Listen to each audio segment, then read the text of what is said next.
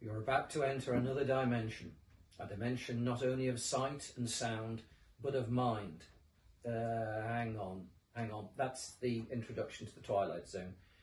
It's a completely different gig. Sorry, go with me. Wholeness. Yeah, okay, right. Good.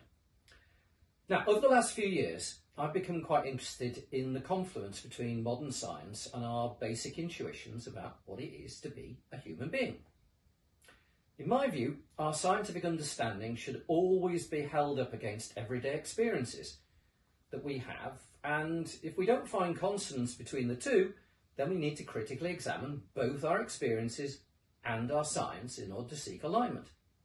It seems to me that too often in history we've cheapened our view of ourselves just because our basic intuitions don't seem to align with what science tells us.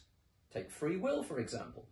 I read the other day about a new book by a behavioural scientist who's once again setting out the case against free will. And I want to ask him, have, have you written this book in order to persuade us of that fact?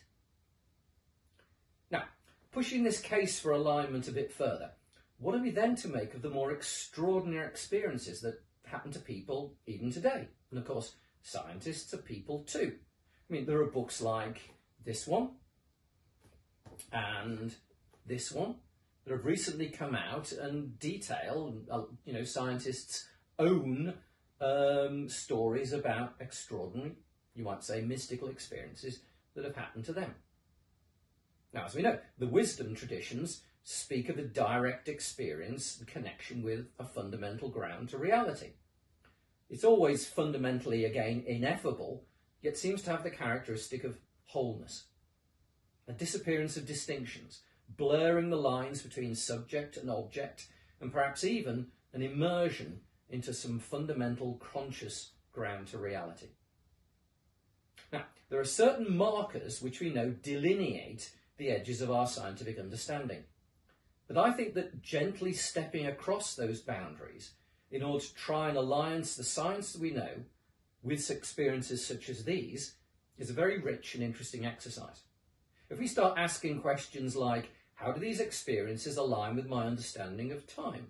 Or what does this tell us about the nature of consciousness? Then maybe we'll start to pick up some important clues about scientific things that we currently have no foothold in whatsoever. If wholeness is a fundamental characteristic of ultimate reality, then even now, if our experiments are several layers away from this ultimate ground of being, it may be that some echo of that wholeness is starting to show up even now in our scientific results. In this new series of PARI webinars, we've gathered experts from across the sciences to discuss their work with them and see to what extent this may be revealing this underlying wholeness. We're going to hear from particle physics and cosmology, psychoanalysis, global consciousness, neurology, indigenous cultures, and quantum theory.